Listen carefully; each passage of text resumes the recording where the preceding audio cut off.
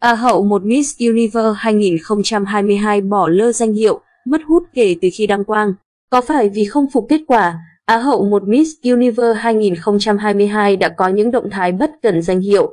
Mới đây, trên trang cá nhân của bà chủ Miss Universe vừa đăng tải ba hình ảnh có mặt của Hoa hậu Moni Gabriel, Á hậu 2 Andrea Martinez và người đẹp thuộc top 5 Gabriela dos Santos để quảng bá cho thương hiệu thời trang mới của Hoa hậu Hoàn Vũ. Tuy nhiên, Á hậu một Amanda Dudamo lại tiếp tục không xuất hiện trong hoạt động này đã khiến nhiều người phải thắc mắc.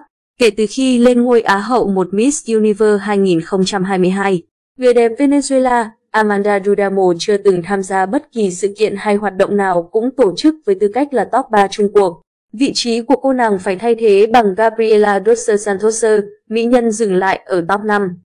Bên cạnh đó, trong chuyến trở quê hương, Amanda Dudamo không sử dụng SAS Á hậu một được cung cấp bởi Miss Universe mà cô đeo SAS Miss Venezuela 2021.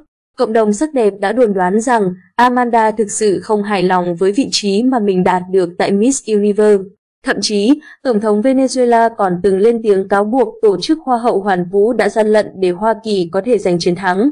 Chưa kể đến, Molly Gabriel cũng phải chịu nhiều sự đàm tiếu sau khi trở thành đương kim Miss Universe.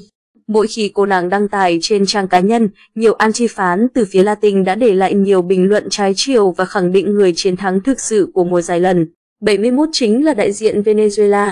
Riêng về phần của Amanda Duramo, cô nàng chỉ dành toàn bộ thời gian cho thương hiệu thời trang riêng và giúp đỡ, giao lưu, truyền cảm hứng sống cho trẻ em tại quê hương và không còn bất kỳ sự kết nối với Miss Universe, dù cô đang là top 3 đương nhiệm.